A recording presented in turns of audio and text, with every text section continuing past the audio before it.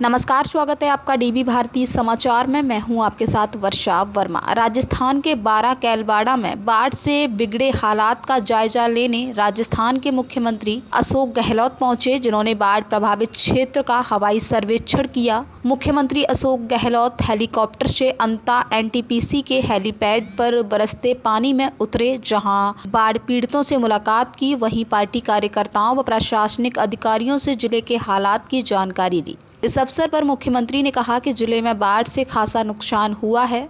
किसानों की फ़सल भी नष्ट हुई है। लोगों के मकान गिर गए हैं। नुकसान का सर्वे के आदेश दिए गए हैं। पीड़ितों को उचित सहायता पहुंचाई जाएगी। इस दौरान राजस्थान के खान एवं गोपालन मंत्री प्रमोद जैन भाया, जिला प्रमुख उर्मिला जैन भाया, विधायक निर्मला शहरिया भी मौजूद रहे। बारह मुख्यमंत्री अशोक गहलोत ने गुरुवार को हाड़ौती संभाग का बाढ़ प्रभावित क्षेत्रों का हवाई सर्वेक्षण किया। इस दौरान अंता विधानसभा सहित सीसवाली कस्बे हवाई सर्वेक्षण के बाद मुख्यमंत्री गहलोत ने एनटीपीसी के गेस्ट हाउस में आमजन से रूबरू होते हुए एनटीपीसी में जिला कलेक्टर नरेंद्र गुप्ता, एसपी कल्याण मन मीरा सहित ज़िले के सभी अधिकारी रहे मौजूद। कोई कैजुअलिटी नहीं हुई है। बाकी नुकसान तो जो, किसानों को हुआ है वो तो हुआ ही है। सर्वे करवा रहे हैं कि मकान बह गए टूट गए। उनकी पूरी इंतज़ाम करेंगे हम लोग। तो पूरी व्यवस्था कर रहे हैं। और मिला हूँ, बात पीड़ितों से मिला हूँ। जो व्यवस्था की गई है, जिला प्रशासन से, हमारे जन प्रतिनिधियों से तो वो भी उससे खुश हैं। खाने के पैकेट भी मिल रहे हैं। उनकी व्यवस्था भी की रहने के लिए कोटा में देखा, यहाँ देखा, अच्छी व्यवस्था की गई है।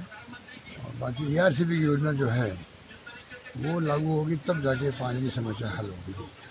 तो ये पानी आता है आपके मध्य प्रदेश से, चाहे काली सिंह का हो, और चाहे वो आपका चंबल का हो ये पानी समुद्र में जाता बह करके हम चाहते हैं कि पानी को रोकें और तेरह ज़िले की जो पानी की समस्या है इरीगेशन है इसमें काम आए।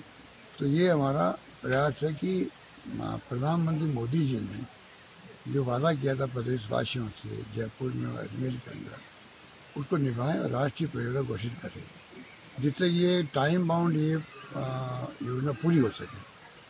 वरना बहुत टाइम लग जाएगा। तो अभी दबाव हमारा बराबर है। मंत्री जो हमारे पानी के मंत्री, उनको भी हमने रिक्वेस्ट की है। आप कम से कम एक योजना तो परियोजना घोषित करवाओ प्रधानमंत्री जी से राष्ट्रीय परियोजना, सोलह परियोजनाएँ हैं और राजस्थान की एकमात्र परियोजना का प्रस्ताव ने दिया है। वो उनको लागू करवाना चाहिए। तब जाके